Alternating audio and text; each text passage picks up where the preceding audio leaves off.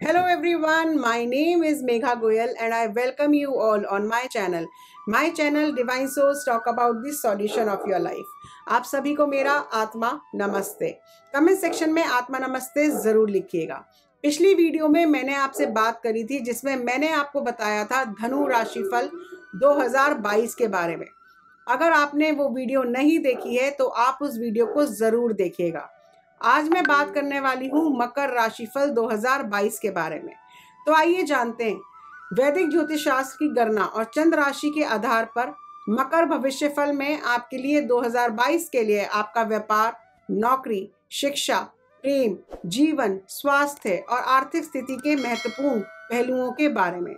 मकर राशि के जातक अपनी मेहनत और लगन के बल पर कई उपलब्धियाँ हासिल करने में सफल रह सकते हैं।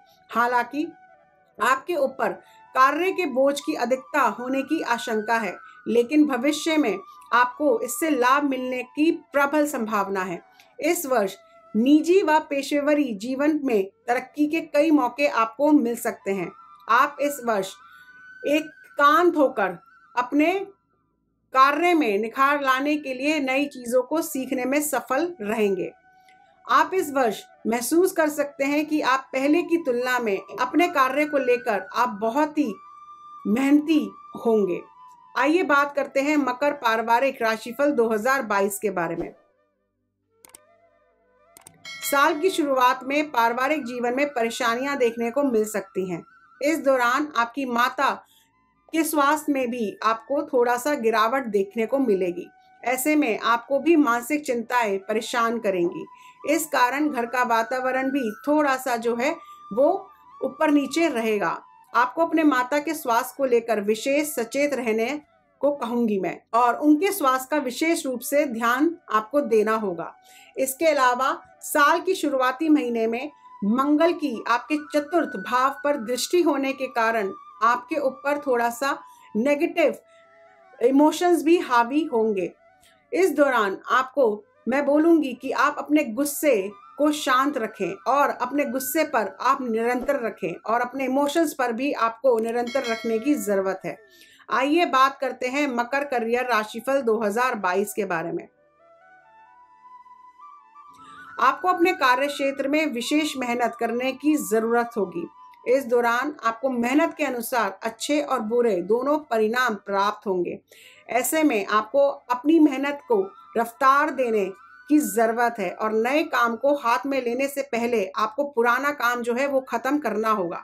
साथ ही मैं आपको ये भी बोलूँगी कि आप जो भी काम मेहनत से करेंगे उसमें आप सफलता पाएँगे। अगर आप नौकरी कार्य क्षेत्र या फिर कंपनी बदलने के इच्छुक हैं तो इस कार्य को साल की पहली या अंतिम महीने में करना आपके लिए बेहतर साबित होगा।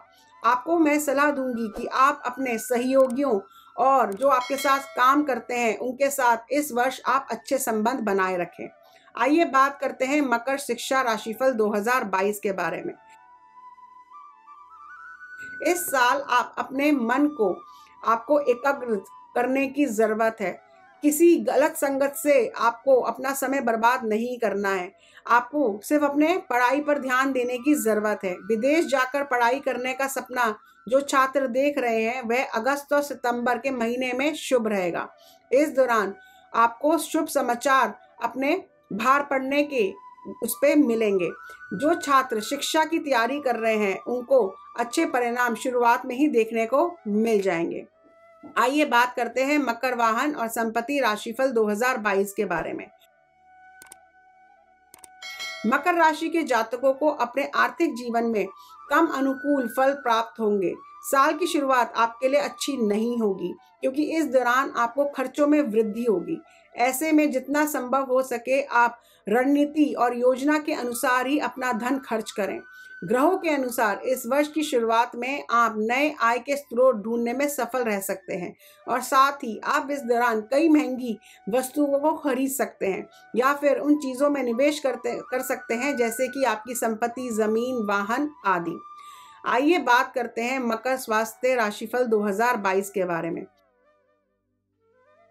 स्वास्थ्य अनुकूल आपका रहेगा, आप अच्छे स्वास्थ्य के साथ अपना जीवन व्यतीत करते दिखाई देंगे। इस वर्ष आपकी सेहत पर पॉजिटिव एनर्जीज जो हैं वो सही रहेंगी। किसी पुराने रोग से अगर आप युक्त हैं तो उससे भी आपको मुक्ति मिलेगी। हालाँकि वर्ष की शुरुआत में कुछ परेशानी हो सकती है।